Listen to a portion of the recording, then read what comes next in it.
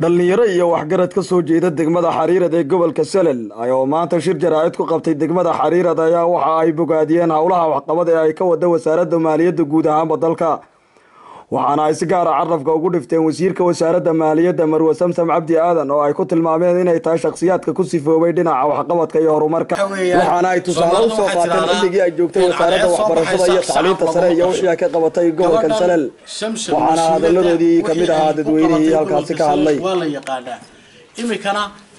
tallaabadii hore ay qaaday in ay hore u sii qaado ayaanu rajaynaynaa. Waa ay cashuurta dad diidanoon ogolay weeyaan sida cashuurta loo qaadla weeyaan taana anagu raalli kama nihin. Wax kastoo cashuurta somalilan ka soo horjeeda waxaan leenahay tallaabaha laga qaado. Ninkaana ninaan ognahay weeyi dawladda dakhli soo geliya cashuurtiisa iyo shaqadiisa ka adag. Ninkaas warwe samsamna waxaan leenahay. Anagu waxaan u naqaanaa hooyada gobolka.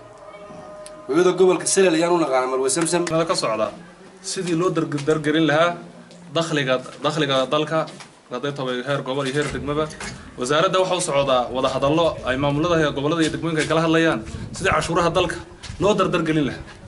Wasiirka hadda hadda hadda jooga marwe samsamna waxay naga mudan tahay wixii ay waajibkaygu yahay inay qabato inaan u laban laabnaba naga istaahishaa waxa weeye maalmahan dhowna waxaan maqlaynaa cabashooyin gobolka dad ka mid a bulshada ku nool ka soo yeedhayoo leh cid baanu ka cabanaynaayo cashuur baa lanaga qaadaayo sidan baa ficiiskan baa jira.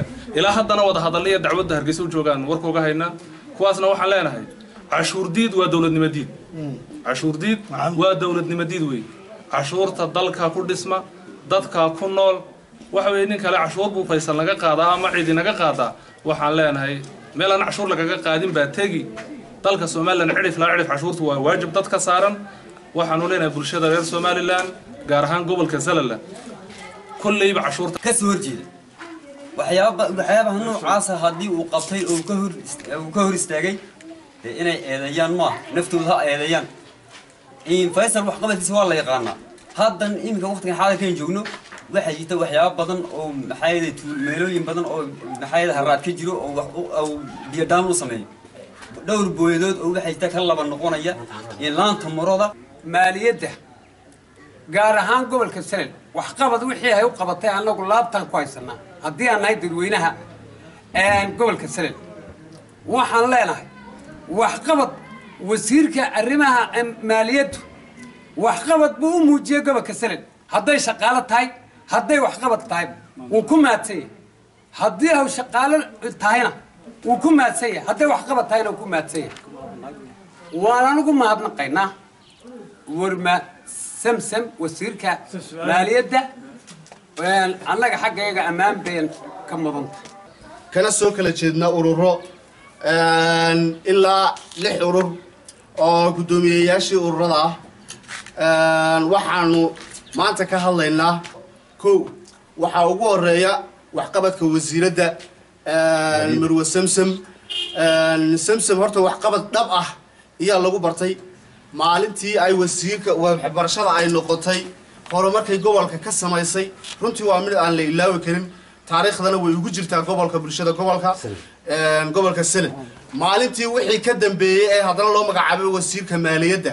Runtii waxaynu arkaynaa maxay ahaydana waxqabad ka muuqda.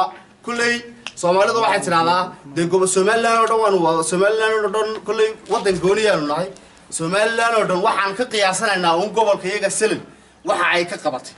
Iyo sida ay hawsha maxay ahaydaan maaliyaddu wasaaradda maaliyaddu ay uga shaqayso runtii si kastaba ahaatee arrintan ayaa waxa ay daba socotaa war horey saxaafadda u galay oo uu nuxurkiisu ahaa inay dadku dhib kala kulmaan magaalada xuduudda ku taalla ee low yacaddo wakhtiga socdaalka. Balse dadka deegaanku ay arrintaasi waxba kama jiraan ku tilmaamay waa cabdimajiid ibraahim muumin shabakadda caalamiga ee xariirad news gobolka selel degmada xariirad